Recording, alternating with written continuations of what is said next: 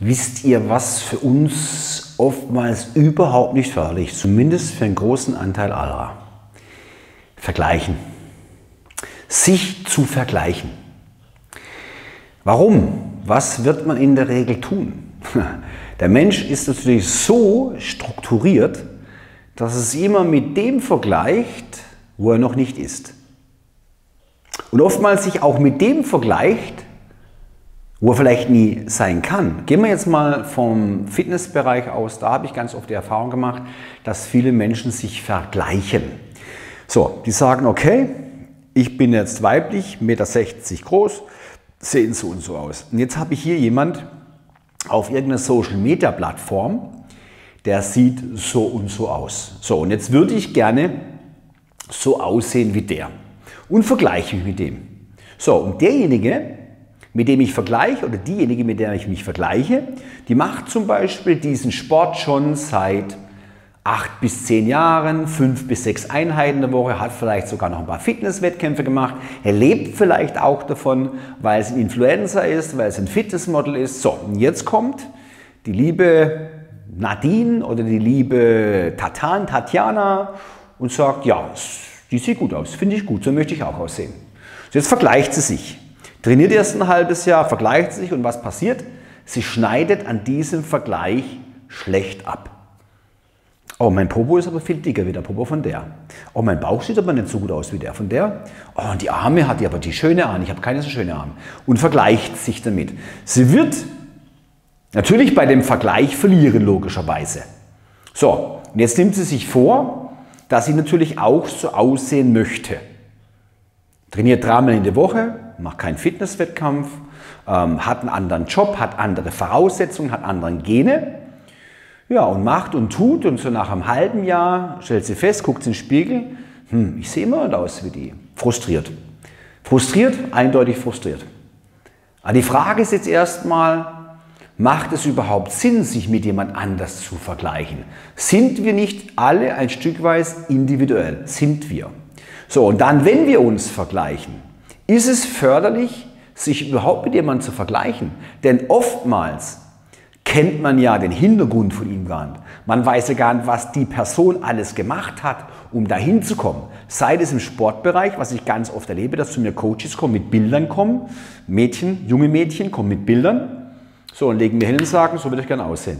Mhm. Und äh, welches Zeitfenster hast du dir vorgestellt? Ah ja, die hat ein Programm und das geht zwölf Wochen. Okay, dann muss ich erstmal den Dreck aus dem Karren ziehen, den Karren aus dem Dreck ziehen, so rum. Warum? Weil natürlich das Bild, was entstanden ist von der Lady, die da was verkauft, das ist ja nicht ein Bild, dass sie das zwölf Wochen gemacht hat, sondern diese Dame, dieses Testimonial, macht das ja schon seit zum Teil Jahren. Sie lebt davon, ist ihrem Beruf und wird natürlich auch von der Firma vermarktet. Entsprechend gibt es super Bilder von ihr, mit äh, Photoshop bearbeitet. Zusätzlich eben hat sie vielleicht auch eine ganz andere Voraussetzung genetisch. So, und jetzt verkauft ihr ein 12-Wochen-Programm und diese Dame, diese Tatjana oder wie sie heißt, möchte auch so aussehen und stellt natürlich nach ein paar Wochen fest, dass es nicht funktioniert. Und was passiert? Sie ist frustriert. Und wenn sie frustriert ist, was passiert? Richtig. Sie wird letztendlich entweder weiter das Ziel verfolgen mit äh, wahnsinnig hoher Energie, wird natürlich vielleicht eventuell aus einem ehemaligen freiwilligen Training, aus einem ehemaligen schönen Vorhaben eine Zwangshandlung generieren. Das heißt, sie wird alle Register ziehen, um letztendlich irgendwie an dieses Ziel zu kommen. Aber nur, weil sie sich vielleicht mit der völlig falschen Person verglichen hat, überhaupt nicht überlegt hat, was hat die Person überhaupt dafür getan, um da zu landen. Da wird manchmal ganz schön naiv vorgegangen. Natürlich beruht die Marketingstrategie darauf, genau das zu provozieren. Viele Plattformen beruhen darauf, sich zu vergleichen und im Vergleich schlechter abzuschneiden. Und viele Plattformen, die dann natürlich auch Ängste produzieren bei diesen Menschen, dass sie nie so aussehen werden.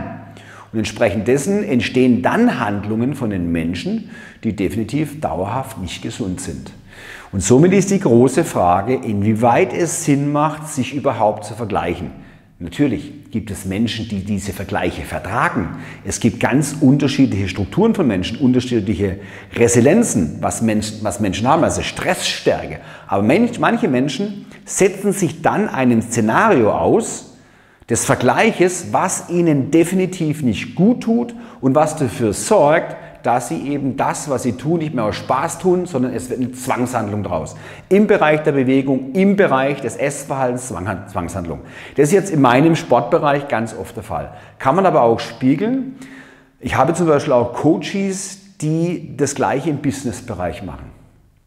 Ja, es gibt Menschen, die sagen, du musst deine Ziele so und so hoch stecken und zwar 150 Prozent am besten über das, was du erreichen kannst, dass du natürlich ein hohes Ziel erreichst von mindestens 100 Prozent.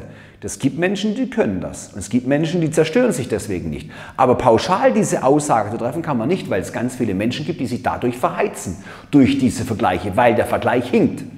Und so gibt es auch ganz viele Menschen im Businessbereich, die ähm, sowas tun, die letztendlich natürlich auch hergehen und sich vergleichen mit Menschen, die zum Beispiel schon 20 Jahre machen, dadurch einen Status erreicht haben, fangen die an, sich zu vergleichen mit diesen Menschen. Jetzt muss ich mal gucken, da vorne blinkt es gerade. Äh, welcher blinken da ist, glaube ich, ist der hier, der braucht gleich ein bisschen Saft, den müssen wir gleich auffüllen. So, ein bisschen hält er noch durch. Und deswegen ist es immer ganz wichtig, sich auch mal Gedanken darüber zu machen, ob es tatsächlich Oh, ist er jetzt ausgegangen? Ist er jetzt ausgegangen oder läuft er noch? Müssen wir mal gucken, Freunde. Also lasst euch nicht irritieren, bin gleich wieder da. Bin gleich wieder da. 1, 2, 3, 1, 2, 3. Noch läuft es. So, bin wieder da.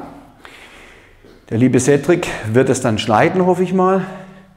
So, und äh, deswegen ist auch hier natürlich wichtig zu überlegen, macht dieser Vergleich überhaupt Sinn? Habe ich mich mit der richtigen Person verglichen und wohin führt dieser Vergleich? Führt dieser Vergleich dahin, dass ich einfach viel zu viel Druck ausübe, viel Maßnahmen ergreife, die letztendlich mir nicht gut tun? Und ich habe solche äh, Coaches auch im Businessbereich, die ihre Ziele natürlich ganz hoch gesetzt haben, in einem Bereich, wo die Wahrscheinlichkeit ganz gering ist, dass erreichen werden. Aber sie sind da voll dabei und voll motiviert und haben jetzt schon die ersten Anzeichen, wie zum Beispiel Tinnitus, die haben die ersten Anzeichen wie innere Unruhezustände, können nachts nicht mehr schlafen, die schlafen nicht mehr durch, die wachen morgens zu früh auf, die sind ungeduldig, die sind unruhig, die können nicht mehr richtig essen. Und wenn sie essen, stopfen sie alles in sich rein, die brauchen abends schon eine Flasche Wein, um schlafen zu können. Nur aus einem Grund, weil sie einen Vergleich eingegangen sind, einen Vergleich, der mit der Realität so nicht übereinstimmt, der irrational ist.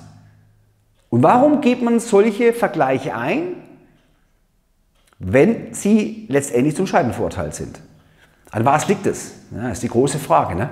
Das ist die ganz große Frage, warum tun wir das? Weil wir alle erfolgreich sein wollen, weil wir alle mit dem, was wir haben, nicht zufrieden sind. Natürlich die Wirtschaft funktioniert so, dass wir nicht zufrieden sind. Dass wenn wir ein Auto gekauft haben für 30.000 Euro, wollen wir beim nächsten Mal eins für 50.000. Wenn wir eine Hose haben für 100 Euro, beim nächsten Mal eins für 120 Euro. Wenn viele Menschen mit Hosen rumlaufen, die schöner sind wie meine, teurer, möchte ich sie auch haben. Weil natürlich, weil man in, in den sozialen Bereich rein möchte, weil man in seiner Sippe sein möchte. Und somit hat jeder so ein Idealbild im Kopf, wo möchte ich hin, was muss ich dafür tun und rennt dann und gibt alles und gibt Vollgas. Ja. Das kann eben einfach dazu führen, dass sich Menschen komplett verheizen, weil diese Vergleiche für viele Menschen nicht funktionieren. Äh, ganz oft auch bei Social Media Plattformen, da scrollen die Leute durch, boah, der ist schon wieder in Hawaii, boah, der hat einen Ferrari gekauft, boah, der ist schon wieder in Italien im Urlaub, boah, der sitzt gerade in erster Klasse im Flugzeug, boah, der hat eine Halskette gekauft, boah, der hat eine Uhr, eine geile Uhr und nebendran ist die passende Werbung dazu. So, und das generiert natürlich eine gewisse Unzufriedenheit. Und diese gewisse Unzufriedenheit, Tja, die hat Programm, die kurbelt die Wirtschaft an. Und dann gibt es Menschen, die sich dann sagen, so, das kann nicht sein, da möchte ich auch hin. Und dann fangen sie an zu rennen. Fangen sie an zu rennen und rennen und rennen und gönnen sich keine Pause mehr und verheizen sich dadurch. Genau deswegen ist immer die, ganze Frage, die ganz große Frage, Lieben, sollen wir uns immer vergleichen? Und mit wem sollen wir uns eigentlich vergleichen? Natürlich ist gut, das Ziel nicht nach uns orientieren, sondern leicht nach oben. Aber hier, hier die Dosierung. Wo geht es überhaupt hin? Was ist sinnvoll für mich? Was macht Sinn für mich? Wie kann ich mich orientieren? Welchen Maßstab setze ich? Das ist die Herausforderung. Und ganz viele Menschen verbrennen daran, weil sie ihre Ziele zu schnell zu hoch stecken. und sich daran verbrennen. Und letztendlich, wenn der Captain stürzt, wenn das Schiff dann in der hohen See im Sturm vor sich hin dümpelt, der Captain funktioniert nicht mehr, dann hat das Ganze nicht gebracht, nichts gebracht. Deswegen meine Empfehlung, achtet darauf, mit wem ihr euch vergleicht. Achtet darauf, dass der Vergleich nicht hinkt. Achtet, dass der Vergleich zu euch passt. Orientiert euch an das, was ihr erreichen könnt. Natürlich könnt ihr Latte hochlegen, aber nicht zu hoch. Das ist die Herausforderung, damit ihr euch nicht verbrennt. Meine Empfehlung, Freunde, ich wünsche euch bei dem, was ihr jetzt gehört habt, bei der Umsetzung ganz viel Spaß und freue mich über euer Feedback. Unten einfach mal unten drunter ähm, kommentieren und äh, liken, konstruktive Kritik, Ideen geben, was immer ihr wollt. Ich freue mich drauf. Macht's gut. Bis bald. Hier Andreas Trienbacher, bekannt auch als Mr. T.